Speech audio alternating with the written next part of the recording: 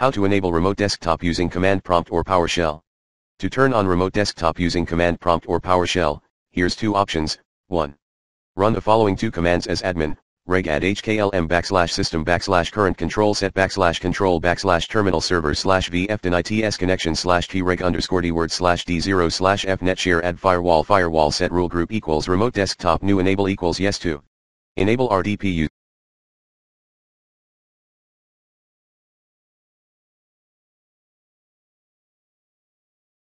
うん。